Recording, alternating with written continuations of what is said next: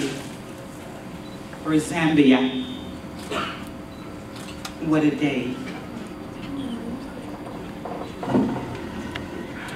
To have embraced a country that has given so much to the world. I mean, what a day.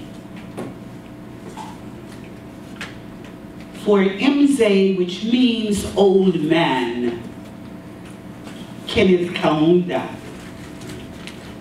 the first leader of Zambia, embraced all of the leaders, especially the voice of Mother Africa. He spoke with the voice as an athlete, as a freedom fighter, running for the people. A man who serves the people, which we all walk every day. What a day. What a day.